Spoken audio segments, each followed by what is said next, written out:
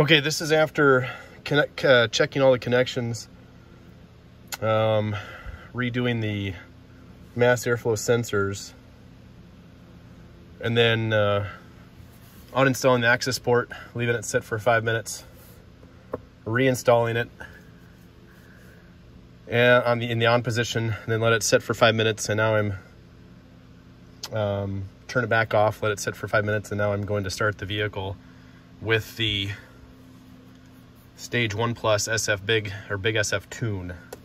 So this is starting it after uh, doing the initial checks that were recommended.